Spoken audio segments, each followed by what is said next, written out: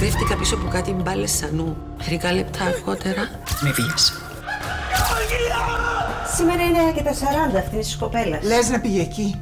Από τότε που ήρθαμε εκεί πρέπει να έχουμε χαθεί. ε. Δεν γουστάρω τις γκρίνιες και τα μούτρα. Σου έχω κάνει τις εξηγήσεις μου, ναι ή όχι; Τι ώρα πετάς; Ο δημοσιογράφος ισχυρίζεται ότι η Ελένη τα έχει με ένα παντρεμένο. Θα είσαστε πάντα μαζί. Δεν υπάρχει τίποτα που να μπορεί να σας χωρίσει.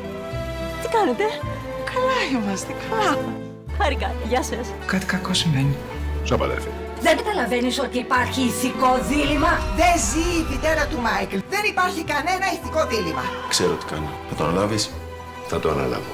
Είμαστε ευτυχισμένοι. Είναι γερά τα παιδιά μας. Μεγάλη κουβέντα αυτή. Γιατί το είπες έτσι; Φαμαγκούστα.